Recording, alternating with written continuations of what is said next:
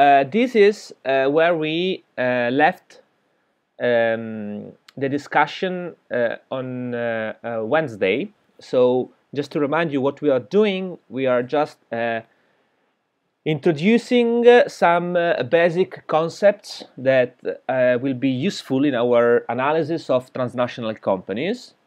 Uh, we've also discussed a little bit the reasons or the factors that uh, favored the emergence of the time of transnational companies, both uh, from the uh, infrastructural point of view, and we mentioned improvement in communication technologies and in transportation, in transports, and also we mentioned um, improvement from the organizational point of view.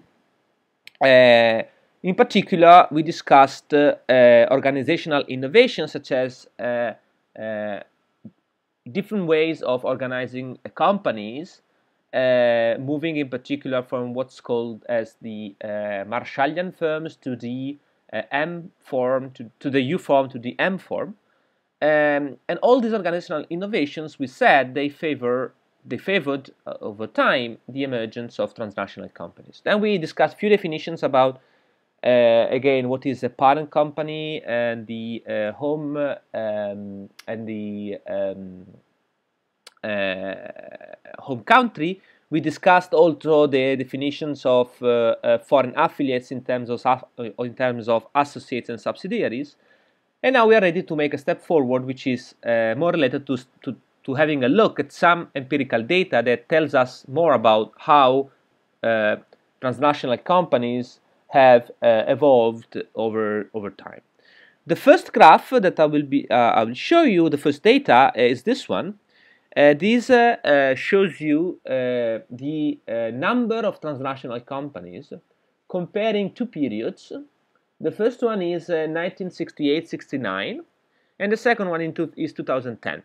Okay, so these are data that are available in your book. It's they're a bit old, but they reflect one important trend uh, which is uh, clear, which is that uh, the number of transnational companies has increased steadily since the end of World War um, World War II, and in particular from the 70s to the 2010 it has increased uh, of several of several order of magnitudes.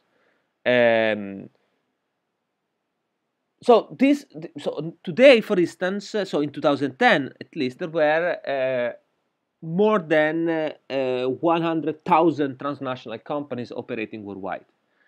Um, again what is it that favored this large increase? So last the last during the last lecture we said transnational companies have, all, have always existed but their number has increased over time. This graph gives us an idea of what what this means in terms of uh, the number has increased. Okay, it has increased a lot over time, and the reason why it has increased is partly related to the uh, innovations in terms of transportation and communications, as well as innovation in terms of organizations uh, that we uh, discussed during the last class.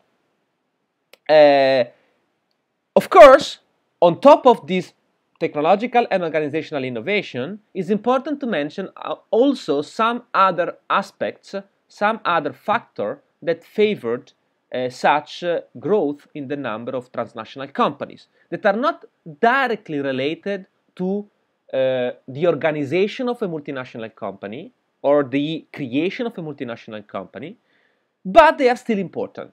And they are more related basically to the political environment, if you want, and to the, let's say, macroeconomic policies that have been implemented over time.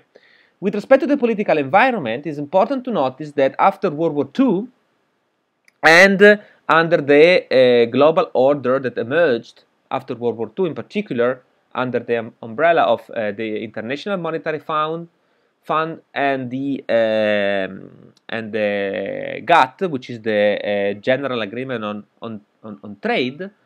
Um, Western countries, in particular Europe and the United States, have become much less uh, uh, uh, willing to uh, adopt protectionist policies in terms of both trade barriers, but also in terms of uh, limitation to the movement of capitals across countries.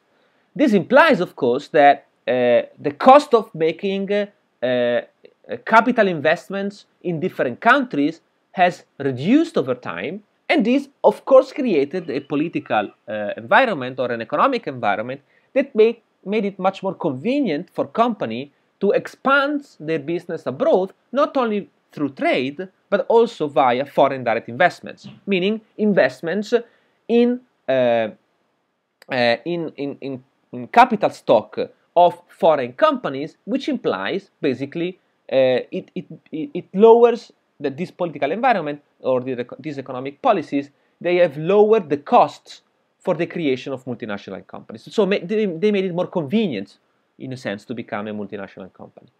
At the same time, this, uh, the second important political uh, choice that was made during this period was the, uh, related to the large programs uh, of liberalization and privatization that uh, during the last years uh, they have done what? They basically freed lot of capital resources that could be invested somewhere else.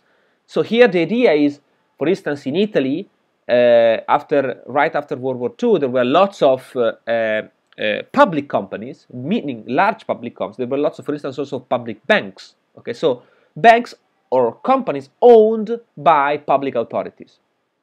Things, for instance, of uh, uh, uh, like the companies that was managing the telecommunication, the the, the the the the, phone network, or that was at the time was called SIP. I still have I'm relatively young, but I, am old enough to remember where, when, when SIP was the, uh, the, com- the, public company uh, that was managing the telephone network. That was a public company. Then, of course, why public companies, for a public company, is more difficult to become a multinational company? Because, of course, the public company is owned by the state for the largest share, and it is kind of uh, rare that a, a, a, a, states or a government or a public authority uh, decides to acquire control of also of some other private company in a different country. Because the mandate that the public company receives from the government or from the state is to basically be concerned with uh, the uh, offering of services and products in the states where the company belongs to. Um, however, the liberalization and the privatization programs, basically what they did, they, they privatized these companies, they made it uh, they make it possible uh, for private investors to acquire control, to buy control um, of, of these companies.